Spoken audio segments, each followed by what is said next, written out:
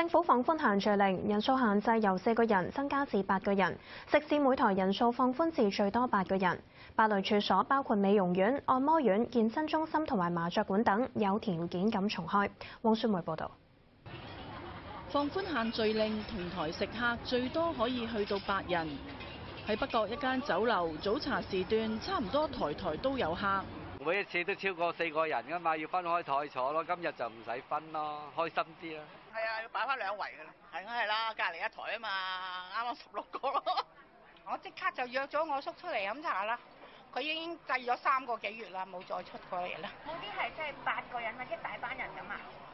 誒冇啦，唔敢啦，係啦，唔敢啦，即係驚住啲交叉感染。食肆台同台之間繼續保持一點五米嘅距離。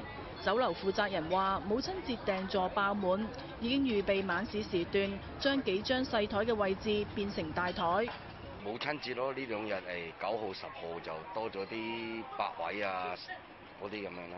午市又多一兩張咯，啊，咁啊暫時第一日多早茶都係細台多嘅，比較少大台嘅。誒，去好少少，個晚市幫助去好少少，但係暫時即係好大個改變就未未有未有嗰個咁嘅明顯個改變嚇。美容院、健身中心、戲院遵守唔同條件之下可以重開。戲院同一行嘅座位唔可以連續坐多過八人，入座率唔能夠超過一半。影院內唔可以食嘢，每場電影播完之後都要清潔。美容院做疗程嘅時候，美容師一定要戴護目鏡或者面罩，毛巾每次用完之後都要換，唔可以使用蒸汽機同埋霧化嘅化學品。